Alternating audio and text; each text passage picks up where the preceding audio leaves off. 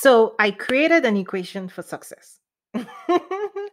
so those who know me, I have a first degree in mathematics and I often, you know, see life through the lens of equation in terms of what are the strategies, personal strategies and approach to life that would help us achieve success faster. So this is my attempt to um, break down the different components of what it will take you to achieve success in any new area. It's what I call the equation for success. Okay. So I do have a first degree in mathematics, a BSc in mathematics. So I always feel like when you're tackling a complex scenario, a complex issue, if you can break it down to its different components, then we can start designing our approach strategies um, towards moving ourselves uh, to achieve progress. So let me break it down for you. So here's what I here's what I came up with. That success requires a couple of components. If you're attempting to achieve something that you've never done before, right? How do you approach it? So success to me means your ability to set a goal and achieve your goals, whether it's business goals, personal goals, um, professional goals, right? So the first component is information. Um, I call this the how to, right? Is that we have to feed our minds with information of how to navigate a new space, how to fish, how to fly a plane. And the lack of how to information is what I believe results in what people talk about imposter syndrome. What I teach is that you need to see imposter syndrome almost like a tourist. You know, if you're a tourist in a new city that you you don't live in, you've never been in, and your mind is kind of trying to figure out how to navigate that space, is because the mind does not have enough information how to, you know, why, right? There's a lot of questions in the mind that the mind doesn't have answers to to navigate that space.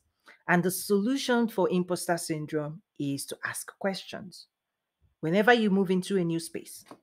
So, whether it's being an entrepreneur in business, a new job, a new location, is that we have to feed our minds with how to, how to achieve success, how to move around, how to do the job, right? And information is one of those things that you want to gather the how to and then proceed forward to skill, right? Because even when we have how to, okay, even when we have how to, it doesn't mean that we know how to do it.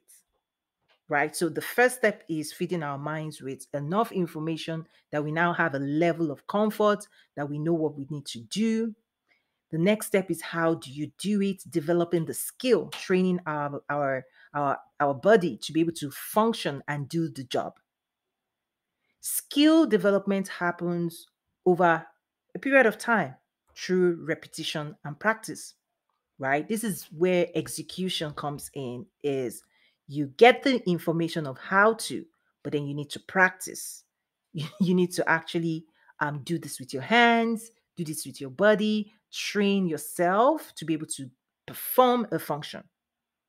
Okay? Again, we're talking about success. How do you achieve success? And when I finish explaining this entire equation, I'm going to also give you examples of how you can use this equation for yourself. Okay, so skill development is important because over time, you're going to gain experience. That's why I say skill development times experience because experience only develops over time, skill improves over time. You can train yourself to perform at a higher level.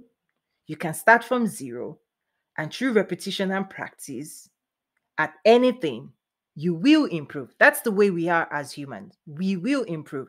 But what people unfortunately do is, you know, don't give up. People give up before they've trained themselves.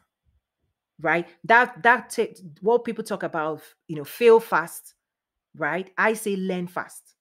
Is that if you know you're in training, you can learn fast because when you become a master and develop skill, you will not fail. you will achieve your goal. You will be able to do it.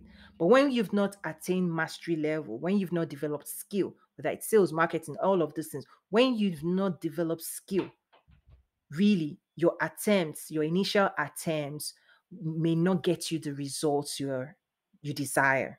Okay. So this is applicable in business, and I'll give you examples as I shared um, once I finish explaining this equation that I came up with and designed. Okay. So skill development times experience is, is a factor that helps us achieve success in any area. Now, a trick, if you want to accelerate success is you can borrow other people's experience. This is what successful people learn how to do is that someone that that spent the last 10 years mastering a particular skill right? They spent 10 years to learn the skill. This is where judgment call comes in. Do you now want to invest 10 years to learn it or do you pay and bring in that expertise to help you accelerate achieving success. So once you understand this fundamental equation, you can then start saying, okay, from a strategic play, from a judgment call, how long is it going to take me to develop this skill? Do I want to tap in? Do I want to bring somebody else that has already developed the skill to help me achieve this goal faster? Or is this something that I believe I actually need to learn long term for myself? Again, judgment call. Last part of this equation is what I call personal leadership. Okay.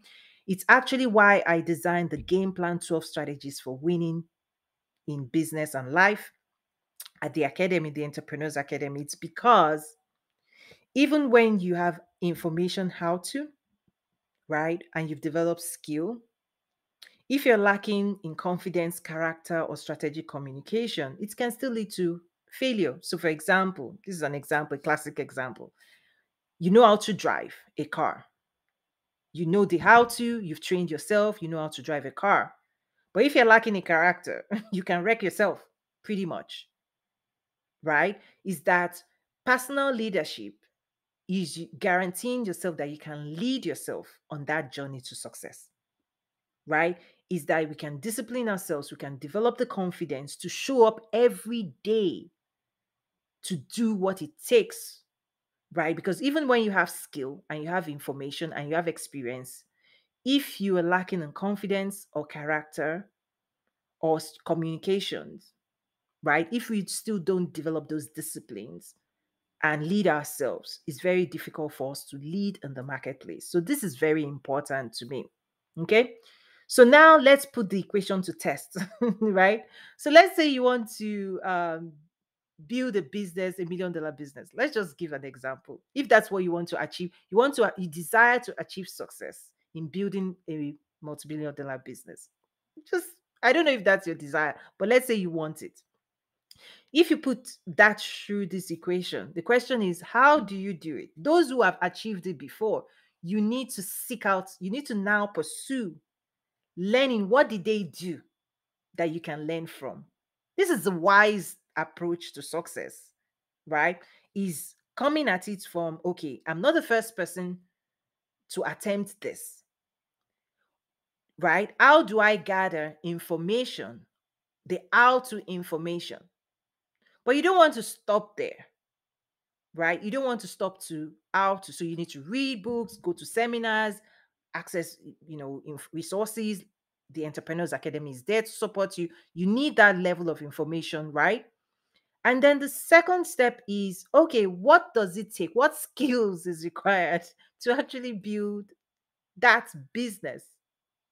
And you need to put yourself on a path for those skills because if you have how to and you don't know the experience level and the skills that those who have achieved it leverage, how they develop themselves, right, to achieve that, you need to now pursue to train yourself, right? Because one thing I say is to build a multi-million dollar business, you actually have to borrow and develop a multi-million dollar mindset because you will create that for yourself.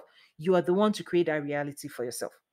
You need information, skills, and then you're going to lead yourself because how those who have done it show up every day to their business is not the same way of those who are not on that journey. So that's just an example of how to leverage this equation I designed. Again, for me, it's about strategy, it's about approaching life through this lens so that we know what journey we're on and we have tangible ways of achieving that that um, that goal as well. So I want to know what you think about this equation.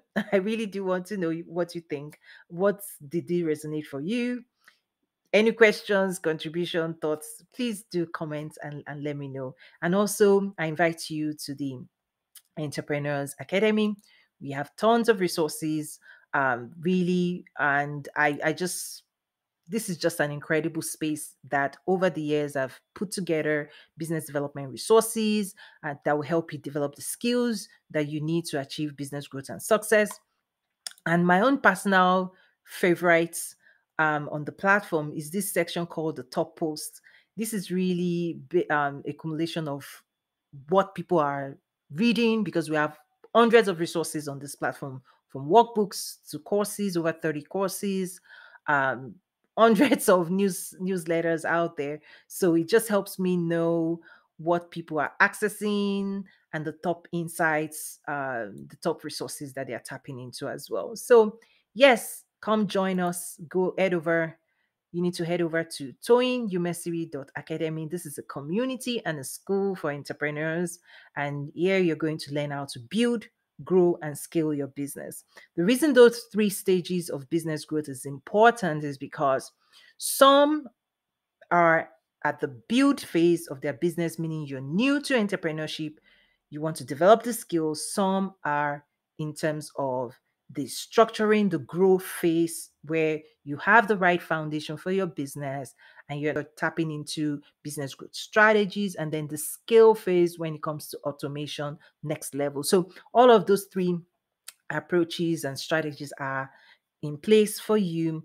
I served as a strategist for Fortune One. So at the end of the day, supporting the biggest brands in the world, those are the skills I bring to the table for you, for my clients, for my members, really for us to accelerate achieving our business growth and success. So thank you. My name is Toyin. You may see, feel free to call me Coach Toyin. I teach and train entrepreneurs to achieve business growth and success. I also work with government stakeholders to advance economic development. So See you soon.